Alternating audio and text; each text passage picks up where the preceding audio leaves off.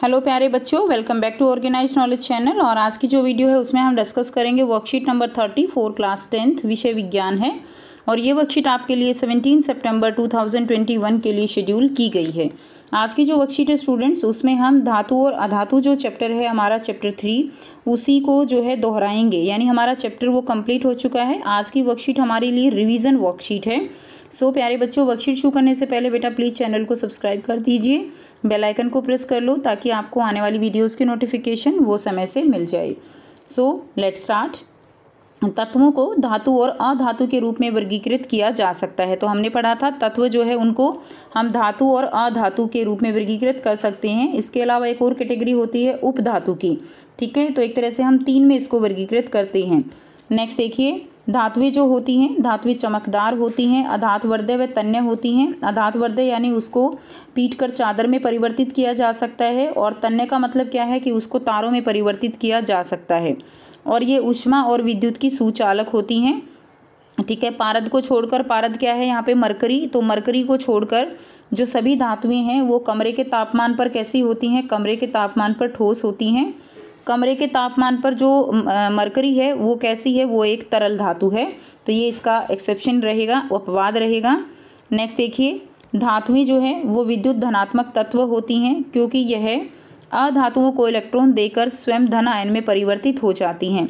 यानी धातुएँ जो है, उनके ऊपर क्या होता है? उनके ऊपर प्लस का जो है, आवेश होता है धनायन होता है, क्योंकि ये क्या करती हैं? ये अपने इलेक्ट्रॉन दूसरे को देती हैं और इलेक्ट्रॉन जब देते हैं तो उसके ऊपर कैसा आवेश आ जाता है? पॉजिटिव चार्ज आ जाता है, धन आवेश आ जाता है।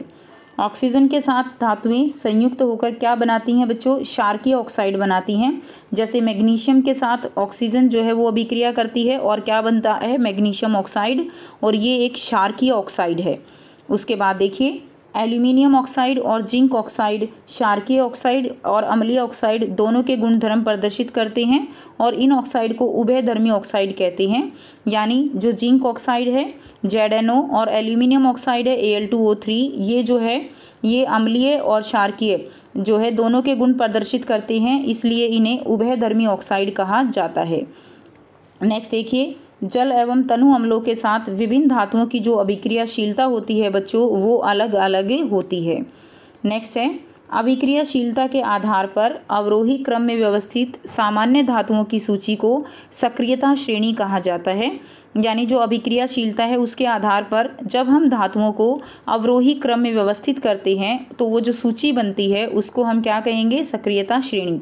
इसको याद भी किया जा सकता है, जैसे केदारनाथ ठीक है? केदारनाथ का माली, आलू, जरा, फीके, पकाता है, कुछ हींग, अजवाइन और पड़ेंगे।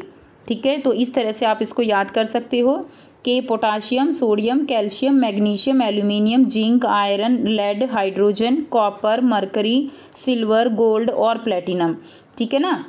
तो ये जो है, ट्रिक से आप इसको याद कर सकते हो। तो ये जो श्रेणी है, इसमें जब हम ऊपर से नीचे आते हैं तो धातुओं की क्रियाशीलता कम होती जाती है और इसको हम क्या कहते हैं? इसको हम सक्रियता श्रेणी कहते हैं। क्लियर नेक्स्ट देखिए।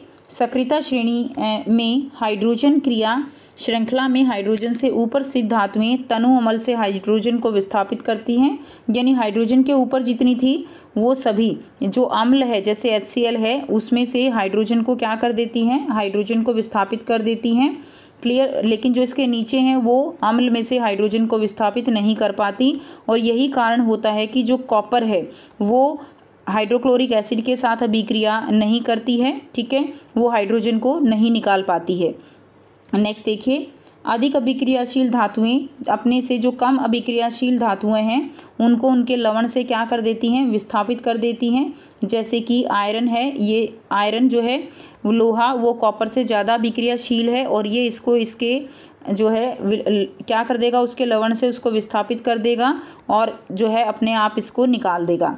ठीक है? तो इस, जैसी अभिक्रियाओं को कहा जाता है, विस्थापन अभिक्रिया तो ज़्यादा क्रियाशील, कम क्रियाशील को वहाँ से विस्थापित कर देती हैं। नेक्स्ट देखिए, अधातुओं के गुण धर्म धातुओं के विपरीत होते हैं। ये ना तो अधात वर्दय होती हैं और ना ही तन्य होती हैं, यानी जो अधातुएँ हैं, उनको ना तो पीट कर चादर में बदला जा सकता है और ना ही उनको तारों में परिवर्तित किया जा सकता है। ग्रेफाइट के अलावा सभी अधातुएँ ऊष्मा और विद्युत की कुचालक होती हैं। तो जो ग्रेफाइट है, ग्रेफाइट क्या है? ये एक अधातु है। इसको छोड़ के सारी अधातुएँ, वो उष्मा और विद्युत की क्या होती हैं? उष्मा और विद्युत की कुचालक होती हैं। और जो ग्रेफाइट है, वो विद्युत का सुचालक होता है। क्लियर है? अब यहाँ पे आपको बहुत ही आसान से जो है, दो प्रश्न दिए गए हैं, जिनके आंसर हम करेंगे। पहला जो प्रश्न आपको दिया गया है, निम्नलिखित मामलों में अपवाद लिखिए। तो आपको क्या करना है? इनमें अपवाद लिखना है। ए दिया गया है, ऑक्सीजन के साथ धातुएँ संयुक्त होकर क्षारकीय ऑक्साइड बनाती हैं। तो ऑक्सीजन के साथ संयुक्त होकर जो धातुएँ हैं, क्षारकीय ऑक्साइड बनाती हैं, लेकिन अपवाद क्या है? अपवाद है यहाँ पे यहाँ पे फ़र्स्ट का आंसर लिख रही हूँ बच्चों, जिंक ऑक्साइड अपवाद है और एल्यूमिनियम ऑक्साइड अपवाद है, जिनको हम उभय ऑक्साइड कहते हैं। क्लियर? ये दो एग्ज़ाम्पल आप लिख दोगे। बी दिया गया है, धातुएँ कमरे के तापमान पर ठोस होती हैं, लेकिन अपवाद क्या है? मरकरी अपवाद है एच जी ठीक है? लिख देंगे आप एच जी यानी क्या है ये? मरकरी है। तो ये दूसरे का आंसर हो जाएगा। थर्ड देखिए सी दिया गया है, अधातुएँ उष्मा और विद्युत की कुचालक होती हैं, लेकिन अपवाद है ग्रेफाइट ग्रेफाइट जो है, वो उष्मा और विद्युत का क्या है? सुचालक होता है। ठीक है? तो इस तरह से आप इसको लिख देंगे। क्लियर है? तो इसमें आप उदाहरण लिख देंगे ग्रेफाइट प्रश्न दो देखिए। बताइए, निम्नलिखित कथन सत्य है या असत्य? ऑप्शन ए, जल एवं तनु अम्लों के साथ विभिन्न धातुओं की अभिक्रियाशीलता समान होती है। तो क्या जल और तनु अम्लों के साथ धातुओं की अभिक्रिया अभिक्रियाशीलता समान होती है?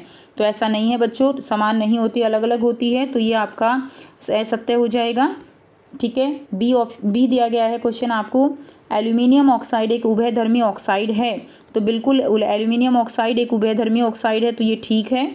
तीसरा दिया गया है अधातुएँ धातुओं को इलेक्ट्रॉन देकर स्वयं धन आयन में परिवर्तित हो जाती हैं। तो अधातुएँ जो हैं, वो धातुओं को क्या देती हैं? इलेक्ट्रॉन देती हैं। और ये गलत है बच्चों अधातुएँ धातुओं को इलेक्ट्रॉन देकर देती नहीं है, धातुएँ जो है अधातुओं को देती हैं तो ये आपका गलत हो जाएगा। तो ये थी आपकी आज की बेटा साइंस की वर्कशीट आई होप सभी स्टूडेंट्स को ये क्लियर है। कोई भी डाउट है, आप पूछ सकते हो। वीडियो अच्छी लगी तो प्लीज़ लाइक कर दीजिए शेयर कर दीजिए और चैनल को भी सब्सक्राइब कर लीजिए। सो थैंक्स फॉर वॉचिंग मिलते हैं नेक्स्ट वीडियो में नेक्स्ट वर्कशीट के साथ। Take care